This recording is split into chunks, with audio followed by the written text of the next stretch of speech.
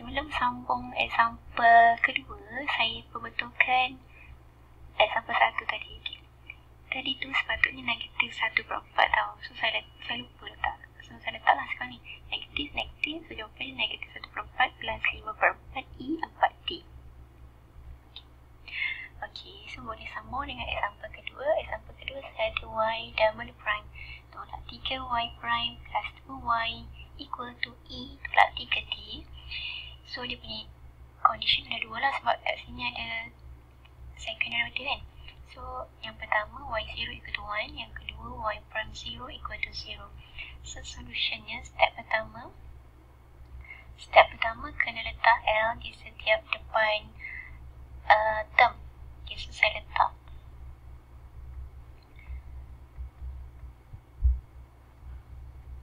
tolak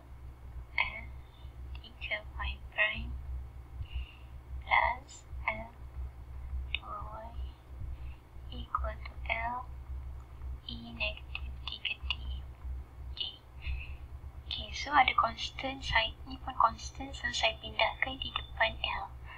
Supaya kita tidak salah nantilah.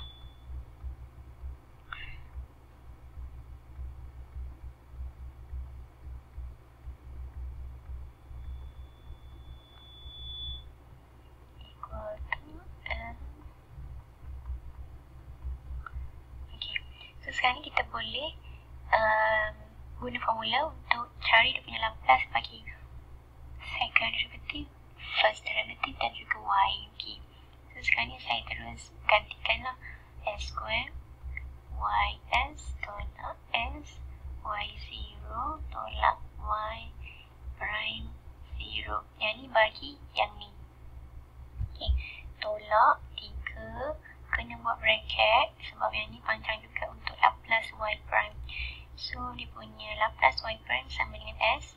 Y S tolak Y 0 tutup bracket. Plus okay, Laplace Y sama dengan Y S.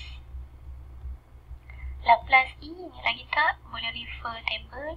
1 plus 3 S plus 3 sebabnya tolak kan. So, tolak kat situ jadi plus kat sini step seterusnya kita akan substitute nilai y0 dan juga y prime 0 sini, sini dengan nilai lah. Ok, s square ys y0 sama dengan 1 so s darabkan dengan 1 tolak y prime 0 sama dengan 0 tolak 3 darab dengan darab sini jadi 3s ys N ni tolak, tolak jadi plus. Okay. Plus 3 darab 1, 3 lah. Plus 2ys equal to 1 per s plus 3. Okay. So, saya ingatkan kita nak cari ys equal to dia punya equation. So, saya pindahkan yang tak ada ys ke belah kanan dan maintainkan yang ada ys di belah kiri.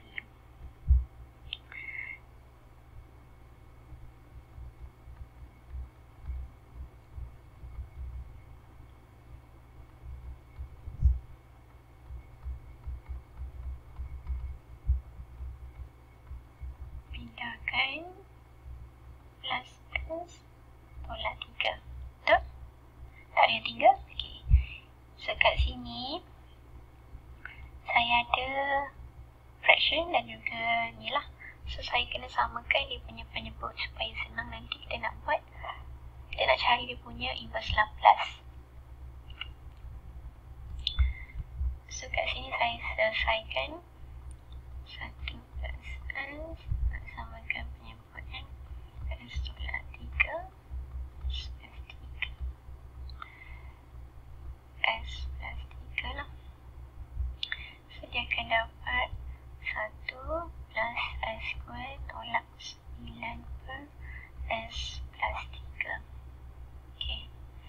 saya sambung di muka surat depan S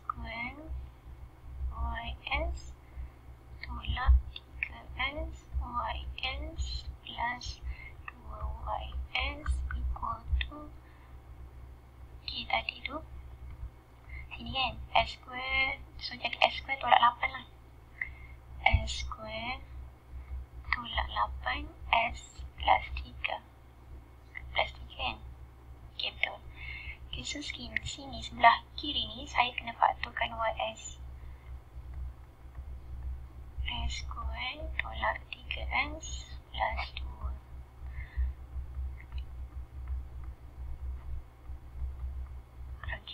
So saya akan dapatkan YS lah. YS sama dengan S plus 3 S square plus 3S equals 2 Okay Nampak kan caranya bahagilah Okay lepas tu uh, Seterusnya Okay, confirm lah yang ni kita akan solvekan menggunakan partial fraction. Okay, use partial fraction. Okay, s square tolak 8, s plus 3. Okay, sebelum menggunakan partial fraction, kita kena pastikan yang bawah ni kena fakturkan sehabis boleh. So yang ni kita masih boleh fakturkan kan? So saya dapat S tolak 1, S tolak 2.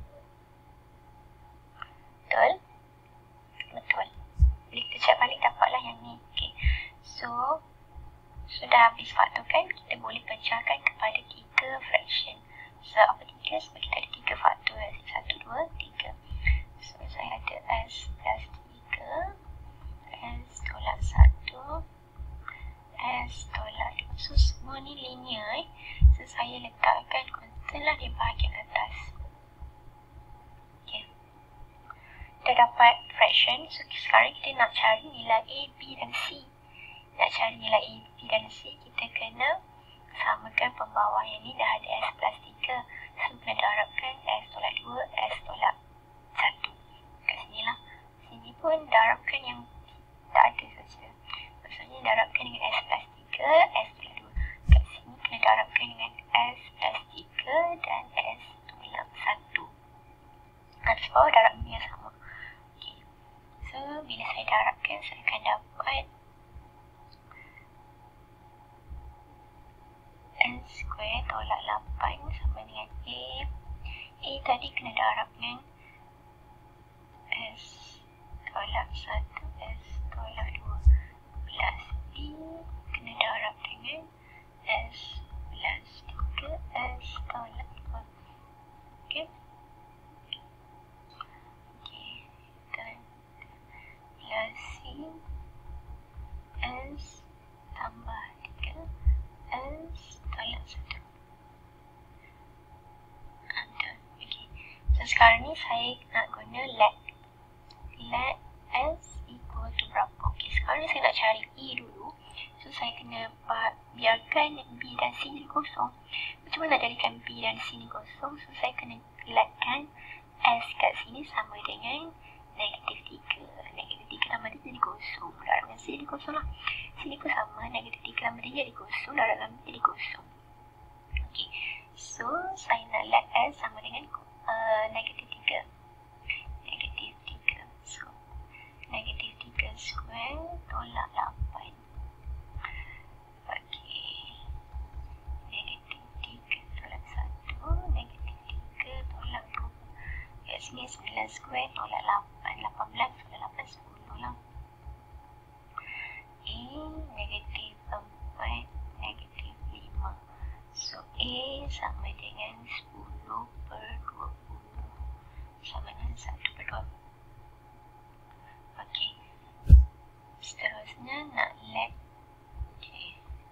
up let s sama dengan uh, sekarang ni nak let apa sekarang ni saya nak cari b so saya let s sama dengan 2 dan boleh ke 2 tak boleh 1 1 sini 1 hilang sini 1 hilang so let s 1 ok 1 square tolak 8 sini kosong b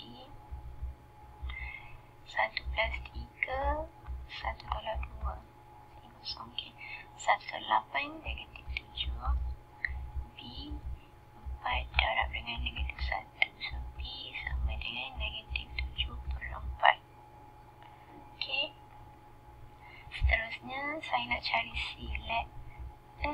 sama dengan 2 lah 2 square tolak 8 sama dengan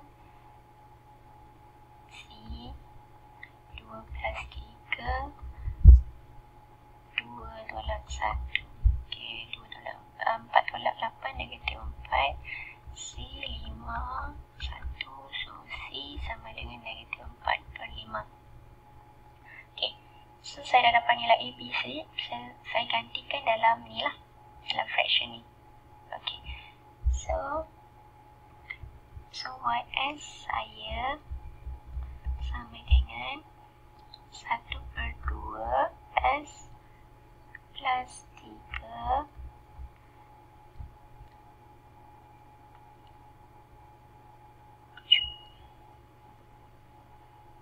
tadi ni negatif-negatif jadi plus kat sini ya. Okay. So plus 7 per 4 S tolak S tolak 1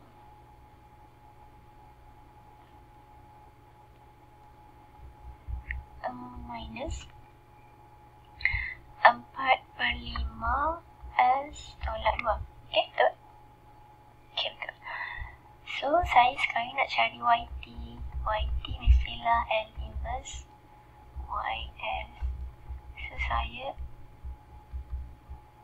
carilah dia punya inverse Laplace eh. 1 per 2 S plus 3 plus 7 per 4 S tolak 1 tolak 4 per 5 S tolak 2 okay. so saya dapat 1